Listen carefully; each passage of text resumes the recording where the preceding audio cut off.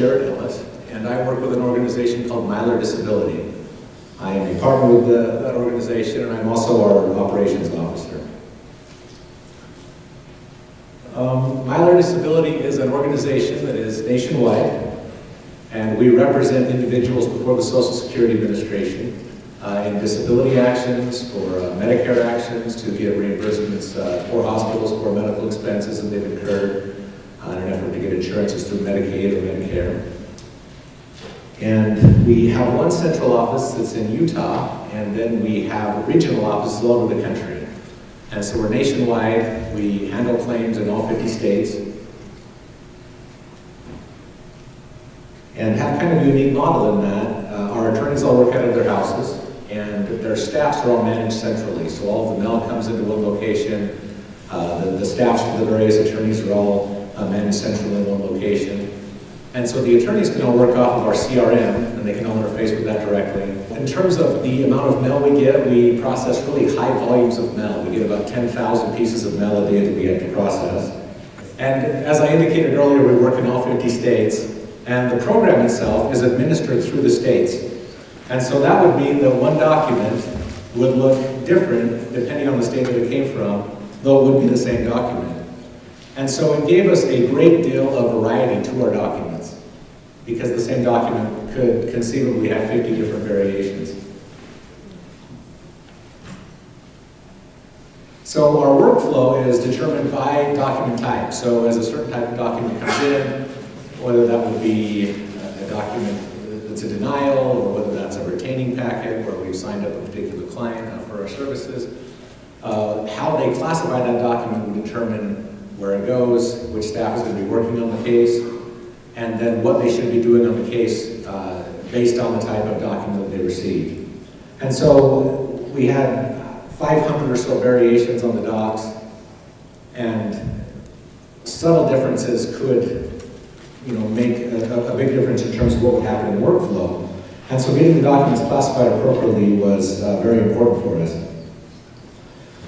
We, at the time, would train a few classifiers. So we would have people that we would train on these uh, multitude of documents.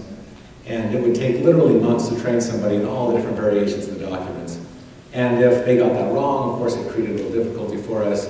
And then we would also have the concern and worry that this person might go somewhere, you know, maybe they move out of state or uh, they find a different job. And so if we did lose somebody that was trained in uh, the reading of the documents and the classifying of the documents, well, that was kind of a big hit for the business. So about 200,000 documents processed a month, uh, 500 different types of documents. Uh, created the, the problems I indicated with the training. Uh, just some examples by way of complexity issues. Uh, certain documents uh, would be the same, but vary based on where it was signed, for example. And so we had a representation document that might be signed with the primary representative's name. Uh, that would be one variation of the document. An unsigned document. We might have a document that was signed by a secondary rep representative. We might sign a, do a, document that was signed by a client. Uh, or the document might be signed by the client but possibly in the wrong spot. Or we'd have a document that's signed by the client but wasn't dated, or it was dated in the wrong spot. And so for each of these different document types, we would have a different upload option that would create a different workflow based on the document. And so, again, just adding the complexity was that the same document could have all different types of variations. Now, it was the same thing with our fee agreements. And so we could have an incorrect signature, we could have uh, an unsigned document by a certain representative, uh, we could have one that was done correctly, uh, and then we would need different fee agreements at different times during the process. And so if the case became contested and we had to appeal it to a judge, well, that's a different fee agreement. And if the judge then denies it, we've got to go to the next level. Again, that's another fee agreement. The document is basically the same, but you know you could have seven or eight different iterations uh, based on the process. And so these types of issues essentially added to the complexity or difficulty. It was a long training time, as I indicated, to get them to speed on things. And then it was also a lot of duplicate work because we would have it assigned by one person blindly, and because it was so critical that we got it right, it would go out to the staff on the case, and we would also have them classify the document blindly. And if we got a match, then we would assume that was a proper classification. If we got a mismatch, it would go to a third person uh, that would then kind of be the arbiter and, and uh, would, would determine the proper classification of the document. So all struggles that we are dealing with as a business, uh, we are very automated and entirely paperless, and so uh, we're constantly looking for solutions like uh, which Kofax uh, products would offer. Uh, we were aware of OCR and OCR uh, reading softwares, and so had looked a couple of years back into trying to automate some of this, because obviously with the volumes of mail that we have, it's very cumbersome. so contacted a group that did OCR, they came in, they looked at all of our documents, and essentially told us that our problem was too complex. Uh, that we had too many different document types with the 50 iterations of each of them coming from different states, uh, that it just wasn't anything that they thought that they could do. And so we looked at everything, and, and uh, uh that, that was kind of the verdict that we just couldn't be helped. Uh, so I was disappointed by that, uh, but we moved on and continued doing what we were doing for a couple of years until I was put in touch with, with Michael, who came in contact with me through a mutual acquaintance, and uh, he told us, told me about what he does, and, and said he thought maybe he could help with uh, some of the issues that we had in processing our documents. And I told him that I'd already gone down that road, and, and uh, I know that he's eager and excited, thinking that maybe we're a good client, uh, but that in the final analysis he would determine himself that our documents were too complex to be done. And so he said, well, give me a shot. So we met up and spent some time together. And I, I gave him a bunch of sample documents, and it was nice. I mean, I said, how would you read these? And he said, well, you know, how do you know what a document is? And I said, well, I would look here, look here. And he said, well, that's what we do. The software do the same thing. And so, you know, explaining that it's more than just a template approach, but it's actually reading content. Uh, so, you know, I think the solution, what was crucial to us was really partnering with the right people. But I was personally skeptical that we would be successful uh, just because of how uh, extensive our documents were and how, how many variations that we had. So we had meetings with Michael and, and uh, discussed this. He came back with a working prototype uh, that we could run our document samples through and it looked as though on the, the preliminary pass that was successful. And then he brought his team in and we got to work on the project. Well, it turned out the project was in fact more complex than than we originally contemplated. And his group, working with our group, uh, really through the collaboration, uh, was successful in coming up with a lot of unique solutions. Design. So kind of this agile and collaborative approach that they brought to our business uh, to come in and, and work one-on-one -on -one with our staffers, explain and, and uh, get things as correctly as possible. So slow going at the outset, but with time and work and collaboration from both sides, uh, we started seeing really successful outcomes. So some of the things that were tricky when we tried to put this in place were that our group used different terms uh, than, than, the people at Kofax were using. Uh, things like manual processing, batch classes, extraction, online learning, validation operations. Those were all terms that we used internally, that our Kofax team used as well. And those words meant different things to them than they meant to us. And so we were sometimes having confusion in that regard, uh, just knowing what we meant by certain terms. I think another lesson we learned was that we had a tendency at the outset to focus on the documents that were the most easily readable by Kofax.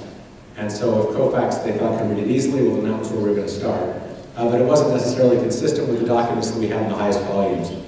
And so doing it over again, we would probably focus on high volume first and take the hit on getting the software to be able to read those.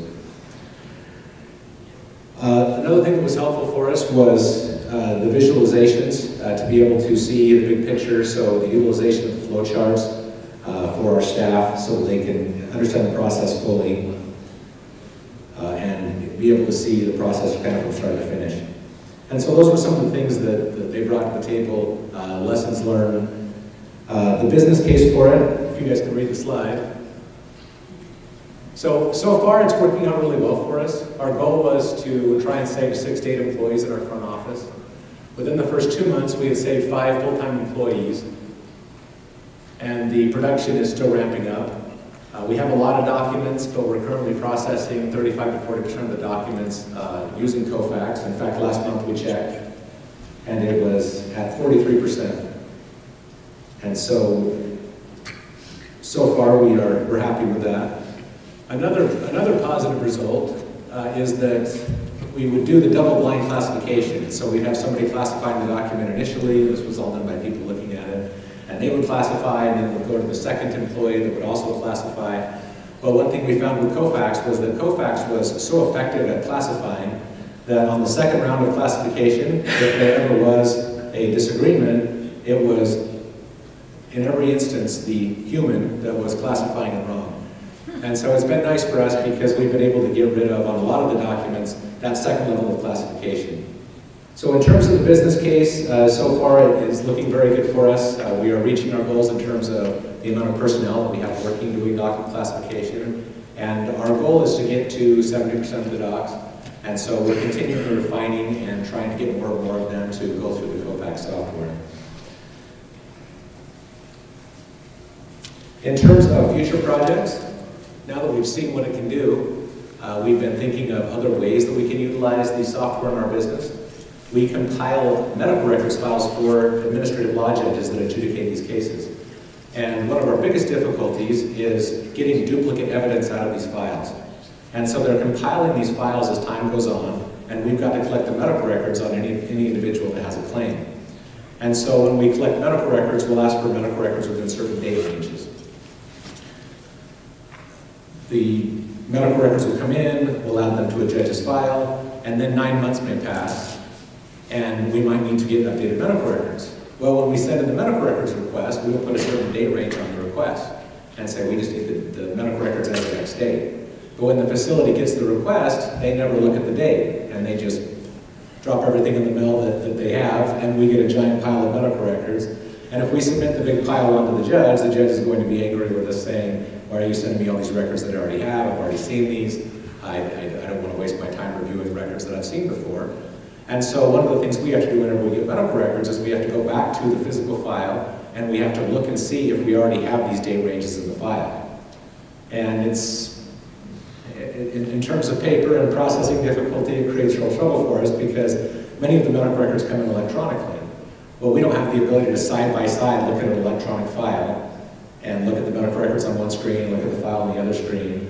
And so what they've done is gotten the medical records electronically, printed them on a printer, looked at the, looked at the, the paper documents and compared them with an electronic file. If they see duplicates, and, and these will be four to 500 page uh, sets of documents sometimes, but if they identify duplicates, then they will pull those out.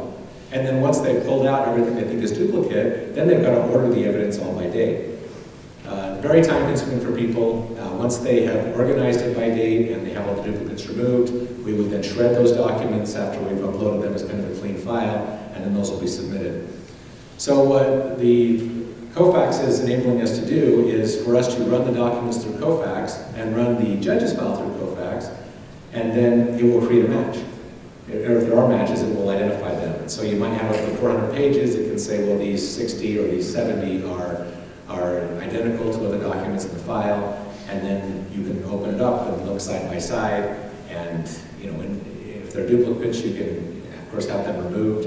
And then once we're done with that, we can go in and insert the dates on the various visits, and then export them to a file with no duplicates and out by date. And so, uh, in the process of making this one work right now, but really very excited about it. And so we think that will have a good return on our investment and also uh, reduce the number of employees that are working on these cases. So other things that we're looking at are uh, reading the medical records that we have to identify the types of cases. Are there other claims that we could be making on these cases based on certain keywords uh, that we can identify in the medical records? Uh, so it's been great, frankly, working with good partners in this, and I think our experience so far has been tremendous. Uh, it's a great product, and uh, we feel as though, you know, within a certain amount of time, a very short period of time, we'll have received a good return on the investment, and then as we move forward in the future, uh, that, you know, will pay us those dividends year after year. And so good experience with the software. Uh, it's great what you guys are doing uh, out there for businesses. And I guess with that, I'll turn the time over to, to Michael Miles.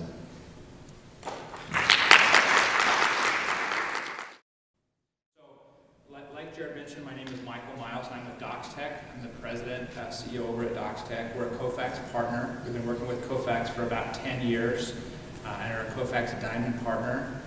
Um, have had the opportunity to work on a, pretty wide variety of projects, but are excited to talk today a little bit about the project that we worked together with Jared and the Myler team on creating. So like, like Jared talked about, Myler Disability is an advocate for those patients who are filing for Social Security disability claims. And they have a, a tremendous number of different document types because of the kind of business that they're in. And so as we talked to Jared, there were really two major projects that we identified. The first was the question about whether or not we could automate, uh, automate the document classification. So could we scan in all these documents and automatically identify what kind of document they were among the 500 or so document types that Myler had identified? And the second piece of that project then was once we scanned in these documents, for any of them that were part of the medical record or would be added to the medical exhibit, could we identify whether or not the documents that we had received were duplicated in the medical exhibit that the, that the company already had for this particular patient? Uh, the first phase of that project is the automated classification phase. And uh, like Jared mentioned, we started on that project back in July of last year and went into production in January. It was a six-month project for us. And essentially it was about two and a half months of development and about two and a half months of uh, user acceptance testing.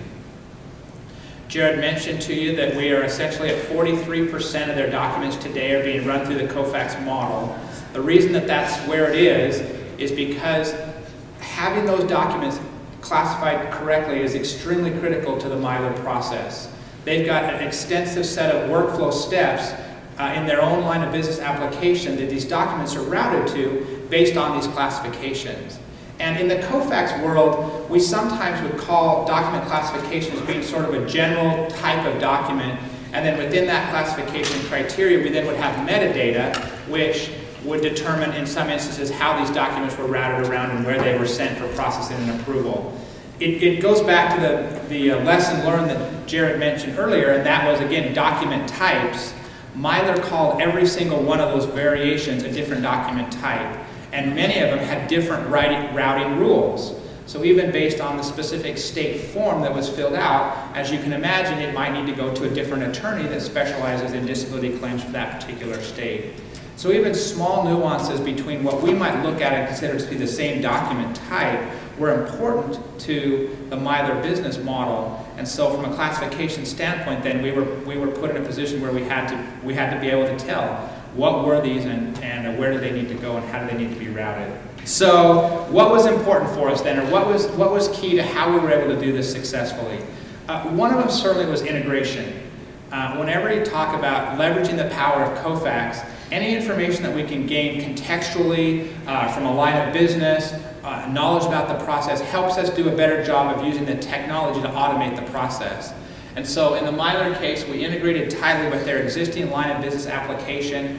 They had a program that they had written in-house that they use as their CRM system, as their process automation and document repository system. And so we integrated tightly with that to understand what were the document types, where was this client in the process of having their case heard and appealed and finally de uh, decisioned on, um, and where did these need to go? What information did we need to know from the document in order to properly route it based on what kind of a document it was and where the client was in the process? Um, we did do a, some initial sorting during the document prep stage, so before documents were even scanned, we did do some initial sorting. We separated out, as an example, those that were part of the medical exhibit file. They were scanned into separate batch classes so that we could actually apply a separate set of KTM project rules to those medical records as opposed to the other claims documents that they were receiving that went through a separate set of uh, KTM processes.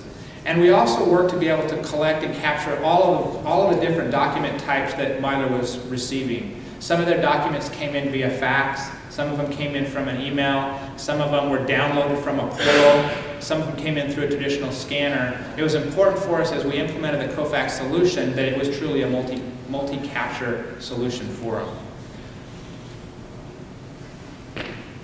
So uh, how did we do it then? Well, classification was key, and we did it essentially by leveraging, and I say we, just to be clear by the way, it was my team. So I had, uh, like Jared mentioned, I'm kind of on the sales side, so we joke about this a little bit with that within DocsTech, but our team sort of promises things, and then our implementation team has to do it. So I don't want to take any credit, because I did not do this. And uh, feel free to ask any questions you want. I'll try to accurately communicate what our team built. But they did a great job in understanding how Kofax could be used, the power of the tool, and then leveraging that to provide the business value that we on the sales side had promised to the customer. We started with what we call uh, layout-based classification. And I recognize that we have members of the audience that probably are very familiar with Kofax and then some of you that may be relatively new. So I'm going to just briefly describe what each of the different classification methods are and how we used them in the case of Myler. So layout-based classification is essentially what you think about in what does the document look like. You look at a document and based on how it's laid out or what it looks at looks like, you can tell from a high level, is this an invoice? Is this a contract? Is this an application? Is this a, a, a form? Uh, it, it's, it's the easiest way to do classification. It's the quickest way to do classification in the Kofax world. And it does a great job initially if you have pretty distinct differences in the way document looks. So layout-based layout classification for the Myler project was the way we started, and it provided a great framework for us, but it didn't provide enough um, detailed differentiation between the, the various document types that we had. So we went on to content-based classification. Content-based classification is where you're going to OCR the entire page, and then based on the OCR content of the page, you're now going to make a distinction between what the document type is. The downside to content-based classification is that you've OCR'd the entire page and you're comparing the entire page to basically an entire OCR page that you have in your sample set. So it works well until you get, again, some of the very small nuances that we found in the Myler model. One of those examples is we have something called a 20-day notice and a 75-day notice. Well, the layout is exactly the same. It's a notice, and 99% of all the words on the page are exactly the same. The only difference is it says 20 instead of 75. So in order to classify between documents that are this similar, you essentially have to go on to what we call instruction or context-based classification. And that means that you have to give extra weight to certain types of words that fall within certain context on the document. So obviously, the words that fall just before the word notice so 20-day notice, the, the, the, set of words that come just before notice as an example, were more important to us than any other word on the entire page. And so by using the, by understanding the context of this document, then we were able to accurately classify the difference between a 20-day notification and a 75-day notification. Uh, so the Kofax tools, I guess my, my kind of overarching method about classification are extremely powerful uh, the more you can understand about the documents that you're working with, uh, whether that's a barcode that's on them, a form number that's on them, a separator sheet that you've used, any information that you can glean as you capture those documents can help you in building your classification model. And all of those things were really important to us as we worked with uh, Jared and his team on the Myler project. We also used the Kofax online learning extensively as we moved into the user acceptance testing. Uh, like I say, that for us was fairly long. It was two and a half months uh, to initially go into production. And his team is still certifying a different doc additional document types. So as we uh, essentially continue to roll through document types, uh, the number of documents that are being classified by the system automatically, we're up to 43 today. Our goal is to be at 70% automated classification within the next month or two. As the model continues to get better, and as his team continues to gain confidence that classification is being done correctly. Um, one other aspect of classification I think that would be important as you consider doing a similar project within your organization. Often in the Kofax model, um, when you use uh, classification of any type, that's a step that happens before extraction. So as you think about a typical Kofax workflow, you're going to capture the documents that you need, you're going to do all the image cleanup that you can to give you the very best images possible, and then you're going to go through and try and classify them. And based on the classification, then you're going to go through and do your OCR and do your extraction. However, in our case, because we were using that OCR content in a way that it was critical for doing the classification, we actually created a data field for each of our document types as part of the batch class that was classification. We alphabetized the classification types in that dropdown so that as the users reviewed these documents, and if there were corrections that they needed to make, the various classification types were in the drop-down, they were alphabetized, they could start to type a classification type and it would fill in the rest of that form, it would auto-fill it for them. But it also allowed for us to change the classification type as we continued through the model. So we would use layout-based classification initially, but then as we got into content and instruction and context-based classification, we could change the value in that drop-down in order to accurately classify the documents before we presented it to a validation operator in the instances where that needed to happen. So having the classification type as a document field for each document was, was an important decision that the design team made as part of the project. After classification, then we needed to know who these documents were for. And so we went on to what's traditionally called extraction. Uh, this would be reading um, or mining the documents for the key pieces of data that we needed to determine which Myler client were these documents for. And we did that essentially based on the document type. Uh, as you can imagine, some document types have a social security number and some don't. In some cases, we were reading social. In some cases, we were reading the name. Uh, we were able to use the Kofax match and merge server, so there was a fuzzy match that we were doing. We didn't have to have an exact name. We had done a lookup through our integration with their in-house line of business application, so we knew which clients they had. We knew what social security numbers, for example, were valid social security numbers within our model and which customer names were valid names. And so we were able to compare the results that we were reading off of the document with this dictionary that we were creating based on the lookup that we did with their in-house line of business application. And that allowed for us to accurately then identify who the client was that these documents were for as we received them. So what did we learn from the project? Um, the, the collaboration was key. I think we often go into a project like this and recognize that many of, many of us as solution providers have worked with Kofax for many years. And so sometimes there's a temptation to say, you know, we know Kofax and we, we, we understand what, how to build this product for you, so tell us what you want and we'll build it.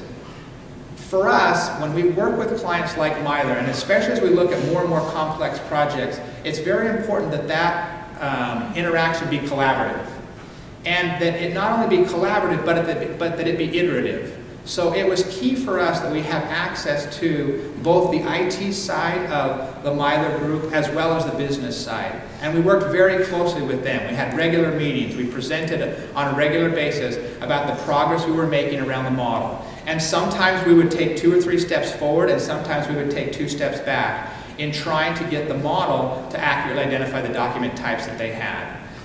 I, I think, and, and, not to um, toot the horn too much, I guess, of our team, but it was very rewarding for me as we met with Jared and his staff just a couple of weeks ago and said, hey, you know, we're going to be giving this presentation. What would you like us to talk about? What kinds of things did you learn as you went through this process? And uh, they said that interaction with the DocsTech team, that time that they spent actually work, watching us work, not just in the conference room asking questions, but sitting down and watching us do our job was extremely important. They said, in fact, we actually offered one of your guys a job. We want to know if he'll come work for us because we're pretty sure that he knows our documents better than we do. Uh, so luckily, he didn't take the job. Craig is actually here, so I can joke about it because uh, he spent a lot of time with that client. And it was, it was important that we learn their world. Uh, that we sit in their shoes, that we watch them work. Otherwise, we never would have been able to, to build this model in a way that it would work for them. We did know the technology, and that was important, but they knew their business and they knew their documents. And so, really having the um, humility, maybe, uh, having the willingness to listen and work together was critical for us to achieve the success that we did. Um, other lessons learned. So discovery is, all, is always something for us that's important. We always talk about it from a project manager standpoint, and yet this was another example as we looked back on the project where we could have done even more. Oftentimes, an engineering team is anxious to jump in and start building the solution. They want to demonstrate the value of the product. Uh, you know, they, they've got enough of an understanding that they think they can jump in and start building the model. We could have done a better job in this case in spending some more time documenting the process, doing the detailed discovery, and I believe we would have even shortened the implementation time frame for this particular customer if we had done a little bit better job of that. Now, we still met the time frame that we set. We still were able to implement within the six months that we had told them as an estimated project time frame. Uh, but for us, making that investment in discovery uh, was a lesson that we learned and one that we were again reminded is extremely important when you talk about designing complex solutions like this. An example of that was around the documents that we choose to chose to focus on. And Jared mentioned this before, so I won't spend a lot of time on it, but we had chose to focus on those that we felt like would be the easiest to, to uh, automatically classify. We talk about this concept around quick wins, sometimes in a strategy that you take around a project. However, because ROI was so important to the customer, because they wanted to understand what the value of the solution was going to be, we would have provided more value for them quicker if we had spent the extra time and focused on the documents based on the volumes that they receive. So, you know, you can look at a list of 500 documents, they know how many they receive every month. Uh, we, we finally did go to that model, um, but we could have gone there quicker and provided value to the customer um, a little bit more quicker, little more quickly in the project if we had, if we had focused in that way. So uh, I wanted just to touch on briefly the next project that Jared talked about. Uh, somebody asked me about it earlier, and uh, we want to be clear about the difference between what we've done and what's in production and what we're working on and planning. So just to be clear, the project that we've talked about up to this point is, is in production. Uh, Jared talked about the business value that they're receiving from it. We did identify up front as part of the sales process that there was a second phase, there was a second project. And it was this idea that we could, well, the question was, could we look at two scanned medical records and tell you whether or not they were duplicated? And so the second project that we're actually working on with them now uh, involves taking the XDoc information, if you're familiar with the Kofax model, that you receive when you run the OCR, and comparing those, the XDoc data that you gather from two different Kofax documents, and being able to determine what percentage likelihood there is that the two documents are duplicated. Uh, when you start to talk about medical records and medical exhibit files, this becomes fairly complicated because you may have one set of medical records that was received from the doctor, those are the original, those medical records then may have been faxed to a hospital, and so when we receive them at Myler, they, we, they come in as a fax copy from the hospital. They're actually the same record. They're covering the same time frame and the same set of doctor's visits. And if you present both of those to a judge, he gets pretty upset. In fact, Jared talked about cases where a judge would actually throw the case out because you had so much duplication within your file. And so we wanted to know whether or not these two were the same document. But Traditional OCR and some of the standard uh, methods didn't necessarily work for us. We have been able to build a model. We're still in development of this solution for them today um, around this idea that we can accurately look at not only XDoc data, which essentially is the sum of all OCR data that Kofax has collected, but also start to capture information about how many lines of text are on the page and how many actual physical lines are on the page. And based on a collection of that data, then tell you the likelihood that two medical records duplicated. And in instances where we think the likelihood is high that they're duplicated, we then present those to an operator for them to make a decision about whether or not it's actually a duplicate document. If it's duplicated, they can then they can then delete the duplicate from the file and then accurately order the exhibit file before they output it and prepare it for uh, presentation before the judge. So that's the next exciting project we're working on, and uh, it's been a lot of fun. Uh, it's always challenging for us when we come in and they tell us that it can't be done, or that somebody else has met with them and told them that it was too complex.